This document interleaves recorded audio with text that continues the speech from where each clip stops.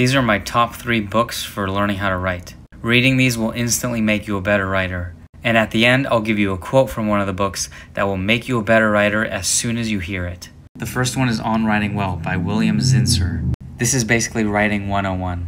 It will undo all the terrible things that English class did.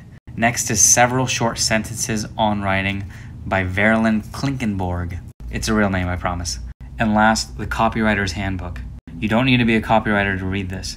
Copywriters are some of the best writers because they get straight to the point and they know who they're writing to. And the quote I promised, which is from On Writing Well Writing improves in direct ratio to the number of things we can keep out of it that shouldn't be there. In other words, cut out everything that you don't need in a sentence.